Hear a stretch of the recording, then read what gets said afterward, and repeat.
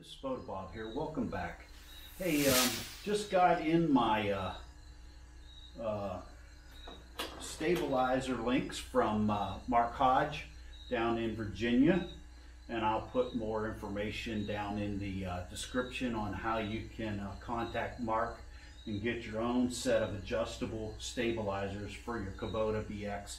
Actually, he makes uh, stabilizers for a variety of different uh, tractors.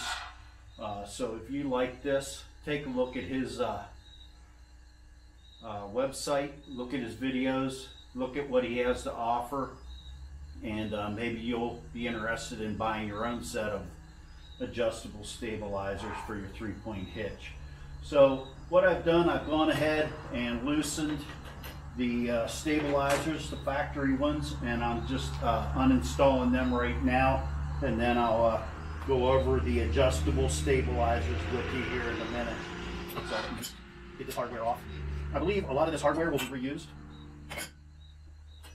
So I'm just going to go with uh, what goes right here. Let's see here. First thing we'll do is remove this top link, let that fall down. Now make things more, we'll prop that up. And you'll see that, that video that I did. Like I, like to say, it's the small things that make your tractor great. You know, these are great tractors right out of the box, and they can do a lot of things, but with the right modification, you can have them do more.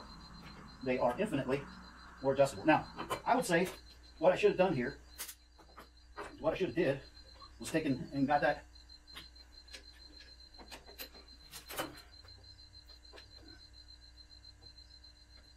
should have straightened that cotter pin. I know. I'm just going to reuse it. Have a box of cotter pins somewhere. All right, let's move this to the other side. It did make it a little easier getting that cotter pin out, so straighten that cotter pin before you uh, remove the linkage. I'll put this in my box of Kubota parts in the event I ever sell it or buy it up. If I sell it, just sell it and let's say I upgrade to a B series. I would probably allow the mods to go with it, with some exceptions. But if I would upgrade to say a 23S with a backhoe, I would probably save these mods so that I would just swap them over to the new tractor.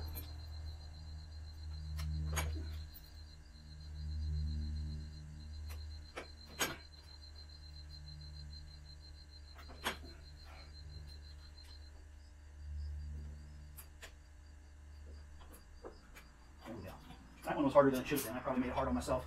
Now, what I like to do when I put these things on, I like to wipe down the tractor. So let me grab a couple rags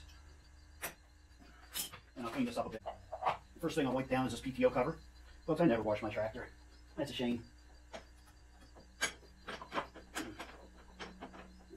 Until it comes time to work on it, then it might get a little bit of cleanup. I'm gonna get some cleaner and clean this PTO shaft off a little bit. Someone tell me down in the comments if you know, should this PTO shaft output have grease on it or not?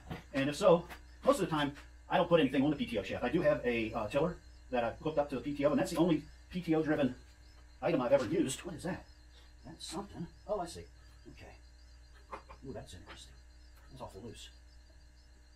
Remove the implement, because I've used my tiller one time, and then once I took it off, I never used it again. I don't think. But I might. Now that I have these adjustable stabilizers, be more willing to uh, swap out implements. That's what I'm hoping.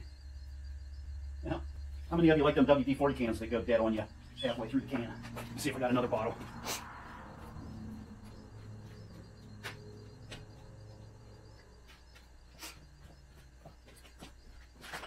Comment about your WD-40 down below. this one's dead too. Oh no, it ain't. There we go. I dropped this can and knocked the uh, top off of it a week ago. That's much better.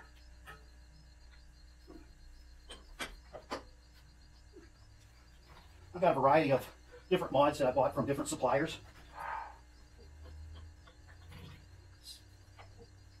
I've used uh, uh, BX, BX attachments, I think it's called. I've used Ken's bolt-on hooks.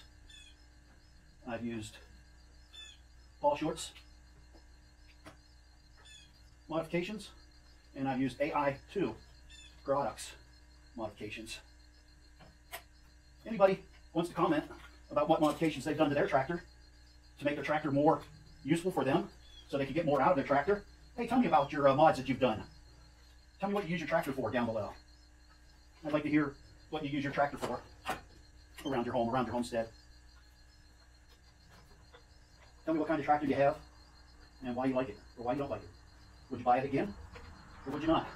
I think I'd buy another BX, but I probably, if I did it again, I probably would buy a B model. Something just a little bit bigger, a little more weight. This does every, you know, mainly what I use my tractor for is cutting the grass. But I do log with it for firewood. That makes the job a lot nicer. And then I just do various little odds and ends, whether it's, you know, carrying my tools to where I'm going to burn out a stump in the yard or cutting hedges, you know, just doing yard work, stuff like that. But, you know, if you use your, your tractor for something other than mowing your grass. So these are Mark Hodges adjustable stabilizers. They're, they're different. There's a right side and a left side. Basically, he has these pins, and then the staple, there are holes in the outer, and then holes on the inner. And depending on how wide you need your three-point hitch, your lift arms, uh, will determine where you pin it. So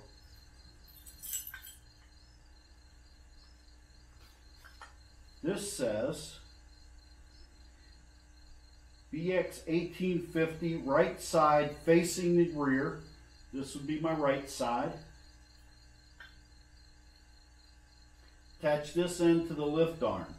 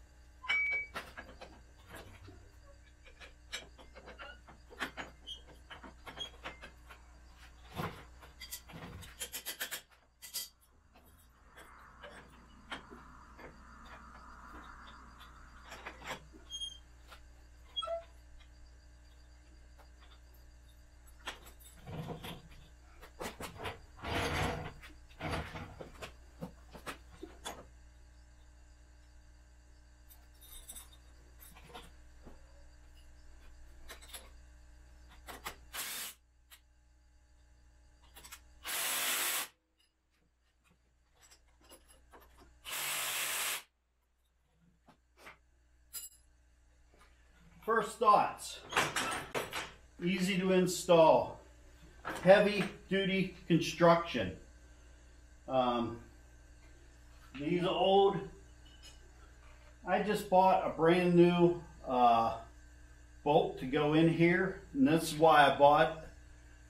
This is why I wanted to get these Hodge adjustable stabilizers was because this bolt was bending. It's just- I had it.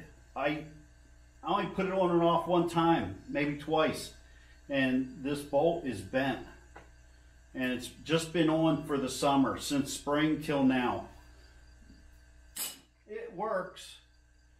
It but it's time consuming to uh, to take your implement on and off with that design. It's a lot of twisting. I don't know. I don't like them. Um, but it's what you got when you have a uh, stock BX tractor. So um, I think what I'm going to do is get some spray paint and spray paint um, the flange here and this so that I know which side goes on which. So I'm, I got some yellow spray paint and maybe uh, another color. I think I got black. But I think I'm going to paint these because these are um, directional and have to be put on. You know, the right side has to go on the right side and the left side goes on the left side and end for end. Uh, y- these are very well engineered and it would be difficult to make it universal that it could fit on either side. I don't think you could do that and have this uh, kind of a quality product. So, um, with that being said, let's go ahead and throw my uh, my uh, Stinger adapter on back on and uh, adjust it up. See how it works. Let's put one side in. And let's throw the other side on.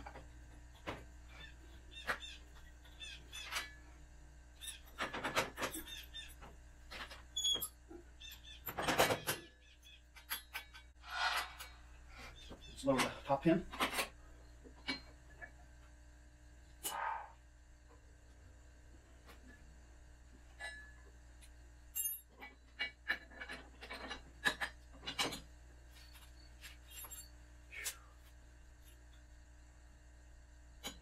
That's it. It's on. It's done. That quick. We'll adjust it.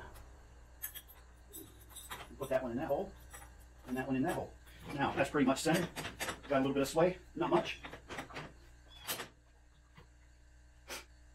Super. Thank you, Mark. Again, I'll put a uh, link down below to Mark's website where you can uh, reach out to Mark and see if uh, he can build one of these for you. And uh, again, hey, if you like this video, give me a thumbs up. Go ahead and share this video with a friend who might be interested in some of these uh, adjustable stabilizers. Might make their life a lot easier. And hit the subscribe button. I'd appreciate that. So, until next time, this is Bota Bob calling this a wrap.